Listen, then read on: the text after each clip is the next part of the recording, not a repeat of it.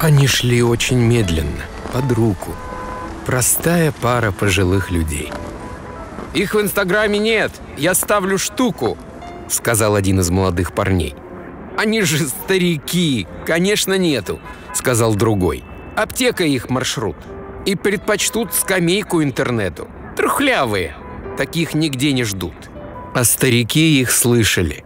«Что скажешь?» — спросила, сжав ладонь его она. «Ты с каждым днем родней, дороже, краше. Ты жизнь моя и каждая весна». Сказавшему «любовь живет три года» не повезло. С тобою он не жил. Как жаль, что нам осталось так немного. Я б вечность тебя целую любил. Она споткнулась. Он не дал упасть. Но выпрямиться было тяжело.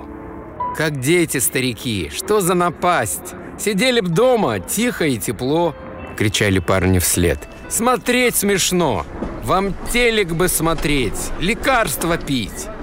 Она шепнула, «Как нам повезло, что довелось не в интернете жить. Мы знаем, как пшеница колосится.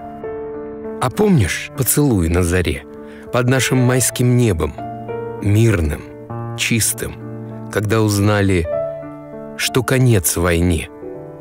Я рада, что сквозь все мои морщины ты видишь красоту моей души. Нет лучше и достойнее мужчины. Прошу одно, ради меня, дыши.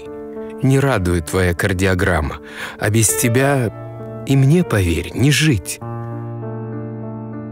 Их нет в сетях, не звезды Инстаграма, зато умеют искренне любить.